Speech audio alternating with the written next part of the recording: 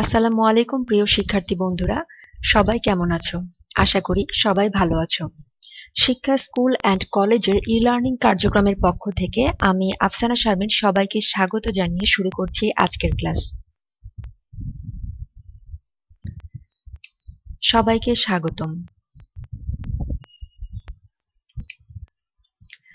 আজকে যে অধ্যায় নিয়ে তোমাদের সামনে উপস্থিত করা হয়েছে, সে অধ্যায়টি হলো অধ্যায় পাঁচ। অধ্যায় পাঁচের আজকে প্রাথমিক কিছু ধারণা নিয়ে তোমাদের সামনে উপস্থাপন করা হচ্ছে। গুণিতক এবং গুণনীয়ক সম্পর্কে। প্রথমেই আমরা তোমাদের কাছে যে বিষয়টি উপস্থাপন করছি সেটি হচ্ছে গুণিতক। অর্থাৎ গুণিতক সম্পর্কে প্রাথমিক ধারণা প্রথমে তোমাদেরকে দেওয়া হচ্ছে। তাহলে গুণিতক কাকে বলে? প্রথমে আমরা এটি জানব। একটি সংখ্যাকে পূর্ণ সংখ্যা দিয়ে গুণ করলে যে সংখ্যা পাওয়া যায়, সেই সংখ্যাগুলোকেই উক্ত সংখ্যার গুণিতক বলা হয়। অর্থাৎ আমরা পূর্ণ সংখ্যা বলতে কোনগুলো বুঝি? এক থেকে পরবর্তী যে সংখ্যাগুলো, সেগুলোই হলো পূর্ণ সংখ্যা। এই পূর্ণ সংখ্যাকে, অর্থাৎ এই পূর্ণ সংখ্যা দিয়ে একটি সংখ্যাকে যখন গুণ করা হয়, তখন যে সংখ্যাগুলো পাওয়া যায়, সেই সংখ্যাগুলোকেই উক্ত সংখ্যার গুণিতক বলা হয়। যেমন এখানে উদাহরণস্বরূপ আমি তিনের গুণিতকগুলো দেখিয়েছি। তিনের গুণিতকগুলো হলো তিন, ছয়, নয়, বারো, পনেরো, আঠারো, একুশ, চব্বিশ, সাতাশ, তিরিশ। এগুলো আমরা কীভাবে পেলাম? অর্থাৎ গুণিতকগুলোই বা কোনগুলো? তাহলে একটু লক্ষ্য করো তোমরা। তিনের গুণিতকগুলো হলো তিন, ছয়, নয়। অর্থাৎ তিনের ঘরের নামটা পড়লে আমরা যে সংখ্যাগুলো পর্যায়ক্রমে পাচ্ছি, সেগুলো এখানে দেখানো হয়েছে। যেমন তিন একে তিন তিন দুগুণে ছয়, তিন তিরিকে নয়, তিন চারে বারো, তিন পাঁচে পনেরো, তিন ছয় আঠারো, তিন সাতে একুশ, তিন আষ্টে চব্বিশ, তিন নং সাতাশ এবং তিন দশে তিরিশ। তাহলে পূর্ণ সংখ্যাগুলো হলো এক, দুই, তিন, চার, পাঁচ, ছয়, সাত, আট, নয়, দশ। এভাবে অসংখ্য। এবং এই সংখ্যাগুলো দ্বারাই আমি যদি তিনকে গুণ করি, তাহলে যে সংখ্যাগুলো আমরা পেয়েছি, এখানে দেখা যাচ্ছে তিন, ছয়, নয়, বারো পর্যায়ক্রমে এবং ধারাবাহিকভাবে সংখ্যাগুলো দেওয়া আছে, এই সংখ্যাগুলোই হলো তিনের গুণিতক। তোমাদের বোঝার সুবিধার্থে আমি আরও একবার বলছি, একটি সংখ্যাকে, অর্থাৎ এখানে তিন একটি সংখ্যা আমরা ধরে নিয়েছি, এবং সেই সংখ্যাকে পূর্ণ সংখ্যা দিয়ে গুণ করলে পূর্ণ সংখ্যাগুলো হলো এক, দুই, তিন, চার, পাঁচ, এভাবে ধারাবাহিকভাবে পর্যায়ক্রমে যেগুলো আছে।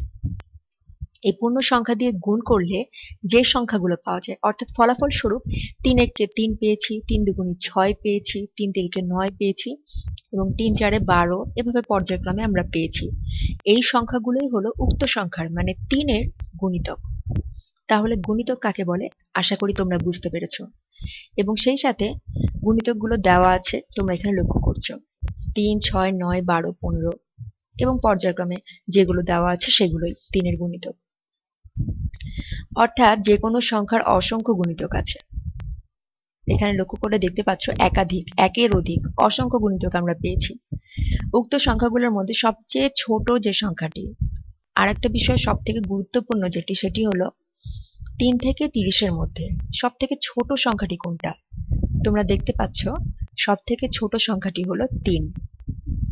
অর্থাৎ তিন থেকে তিরিশের মধ্যে সব থেকে ছোট সংখ্যাটি হলো তিন। এখানে উল্লেখ্য, তিনের গুণিতকগুলোর মধ্যে। এবং এই ছোট সংখ্যাটিকে বলা হয় লঘিষ্ঠ সাধারণ গুণিতক, বা সংক্ষেপে আমরা যেটা বলি লসাগু। অর্থাৎ লসাগু সম্পর্কে প্রাথমিক ধারণা এইটুকুই। আমি আবারও বলছি, একটি সংখ্যাকে পূর্ণ সংখ্যা দিয়ে গুণ করলে যে সংখ্যাগুলো পাওয়া যায়, সেই সংখ্যাগুলোকেই উক্ত সংখ্যার গুণিতক বলা হয়। অর্থাৎ এখানে আমরা একটি সংখ্যা বলতে তিন ধরে নিয়েছি। তোমরা চাইলে যে কোনো সংখ্যায় ধরতে পারো। এক ধরতে পারো, দুই ধরতে পারো, তিন তো ধরেইছি, চার, পাঁচ, ছয়, পর্যায়ক্রমে যে কোনো সংখ্যা ধরতে পারো। এবং প্রত্যেকটি সংখ্যাকে পর্যায়ক্রমে এক, দুই, তিন, চার, পাঁচ, ছয় এই সংখ্যাগুলো দ্বারা গুণ করবে। এবং গুণ করার ফলে যে ফলাফল তোমরা পাবে, অর্থাৎ যে সংখ্যাগুলো পাবে, সেই সংখ্যাগুলো হলো উক্ত সংখ্যার গুণিতক। যেমন আমরা এখানে তিনের গুণিতক পেয়েছি।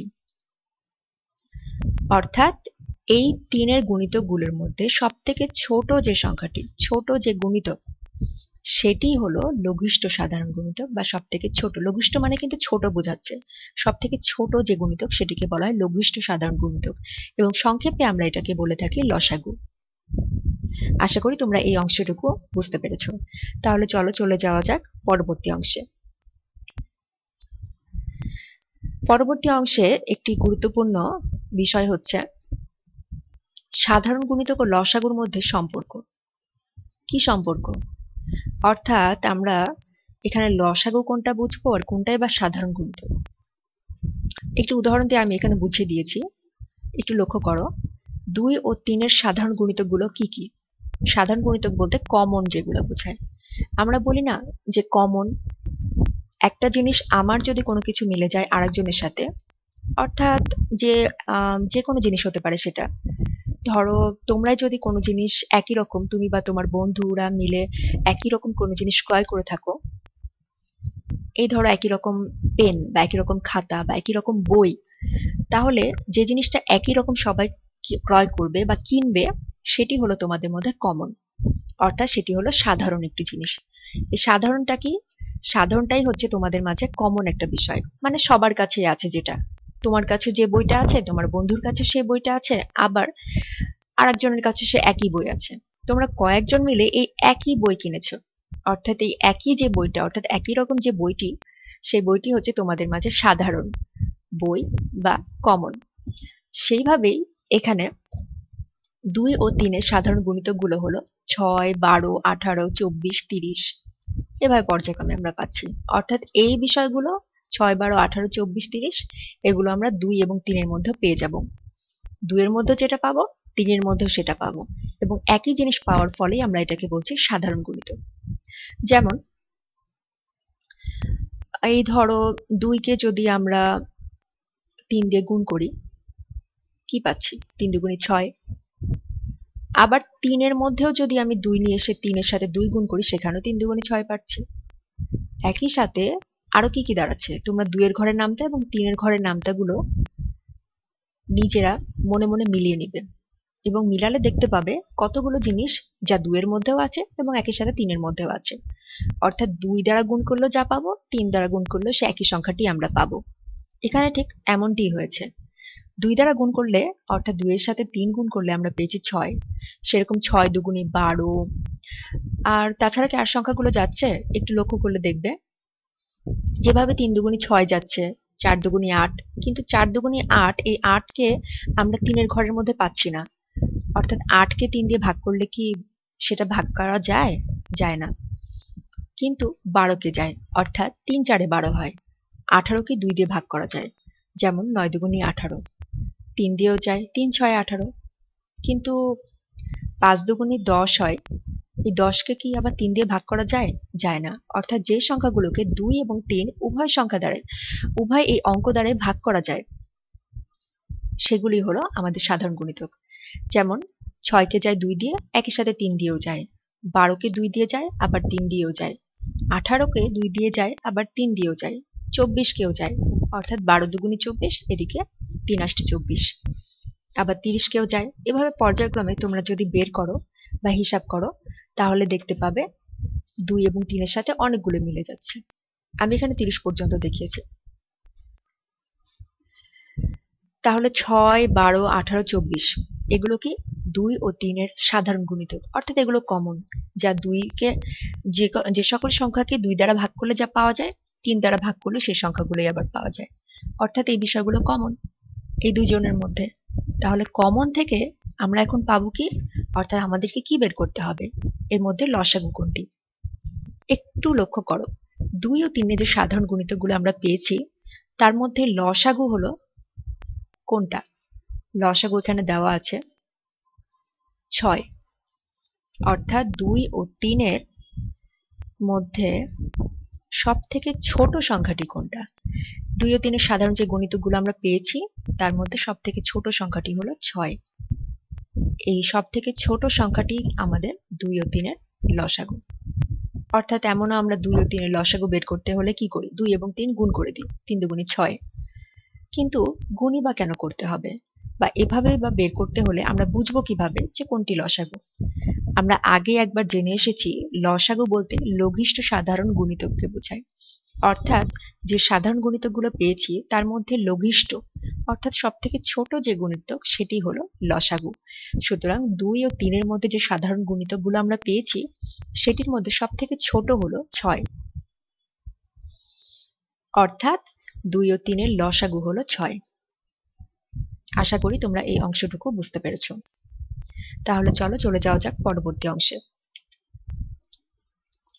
এবার আমরা তোমাদের সামনে যে ধারণাটি দিতে যাচ্ছি, সেটি হলো গুণনীয়ক সম্পর্কে প্রাথমিক ধারণা।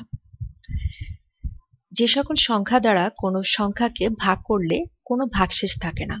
সে সকল সংখ্যাকেই উক্ত সংখ্যার গুণনীয়ক বলে।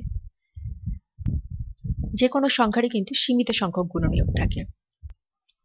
তাহলে আমরা এখানে একটি সংখ্যা ধরে নিয়েছি, সংখ্যাটি হলো ছয়। ছয়ের গুণনীয়কগুলো হলো এক, দুই, তিন, ছয়। অর্থাৎ এই সকল সংখ্যা দ্বারা ছয়কে ভাগ করা যায় এবং ভাগ করলে কোনো ভাগশেষ থাকে না। তাহলে ছয়কে প্রথমে যদি এক দিয়ে ভাগ করি, তাহলে আমরা ছয় পাবো। দুই দিয়ে ভাগ করলে পাচ্ছি তিন, আবার তিন দিয়ে ভাগ করলে পাচ্ছি ছয় সরি দুই। তিন দিয়ে যদি ছয়কে ভাগ করি, তাহলে পাচ্ছি দুই। এবং ছয়কে ছয় দিয়ে ভাগ করলে পাচ্ছি এক। এ বাইরে, অর্থাৎ এর বাইরের সংখ্যাগুলোর বাইরে আমরা অন্য কোনো সংখ্যা পাচ্ছি না। এবং পেলেও সেখানে ভাগশেষ থাকছে। অর্থাৎ সেগুলো গুণনীয়ক হবে না। তাহলে ছয়ের গুণনীয়কগুলো আমরা কি কি পেলাম? এক, দুই, তিন এবং ছয়। এই চারটি। তা ব্যতীত অন্যান্যগুলো হবে না এখানে। আবার আরেকটি বিষয় হলো গুণনীয়কগুলো কোনগুলো? গুণনীয়ক অর্থাৎ গরিষ্ঠ, সাধারণ গুণনীয়ক। গরিষ্ঠ বলতে সব থেকে বড় যে সংখ্যাটি সেটিকে বলে? গরিষ্ঠ। আচ্ছা সেটি পরবর্তীতে আরও আছে। এখানে একটি বিষয় উল্লেখ্য যে, কোনো সংখ্যার গুণনীয়গুলোর মধ্যে এক এবং ওই সংখ্যা থাকবে। তোমরা ছয়ের গুণনীয়গুলো লক্ষ্য করলে দেখতে পাবে, এক এবং ছয় কিন্তু আছেই। এভাবে যদি ছয়, সাত, আট এবং অন্যান্য সংখ্যার তোমরা গুণনীয়গুলো বের করতে চাও, সেক্ষেত্রে এক এবং ওই সংখ্যাটি, অর্থাৎ যে সংখ্যা তোমরা বের করতে চাইবে সে সংখ্যাটি থাকবে এই জিনিসটা তোমরা অন্যান্য সংখ্যা বের করার ক্ষেত্রেও লক্ষ্য করতে পারবে। তাহলে আমি আরও একটু পরিষ্কার করে বলি যে সকল সংখ্যা দ্বারা কোনো সংখ্যাকে ভাগ করলে কোনো ভাগশেষ থাকে না। সে সকল সংখ্যাকেই উক্ত সংখ্যার গুণনীয়ক বলে। আচ্ছা যে কোনো সংখ্যার সীমিত সংখ্যক গুণনীয়ক থেকে থাকে। মানে হচ্ছে ছয়ের গুণনীয়কগুলো কোনগুলো? এক, দুই, তিন, ছয়। অর্থাৎ এই চারটা সংখ্যা দিয়ে ছয়কে যদি আমরা ভাগ করি, তাহলে কোনো ভাগশেষ থাকছে না। এবং অন্যান্য, এর ব্যতীত অন্যান্য সংখ্যা দিয়ে ভাগ করলে ছয়ের ভাগশেষ থাকছে। অর্থাৎ ভাগ করা যাচ্ছে না। এবং এক্ষেত্রে ভাগ করলে, অর্থাৎ এক, দুই, তিন এবং ছয় দ্বারা যদি ছয়কে ভাগ করে থাকি বা অন্যান্য সংখ্যা নিলে সেক্ষেত্রে তোমরা দেখবে যে কোনটা ভাগ করলে কোনো ভাগশেষ থাকছে না, কোন কোন সংখ্যা দিয়ে ভাগ করলে। তার মধ্যে এক এবং ওই সংখ্যাগুলো অবশ্যই থাকবে। সে বিষয়টি লক্ষ্য রাখবে।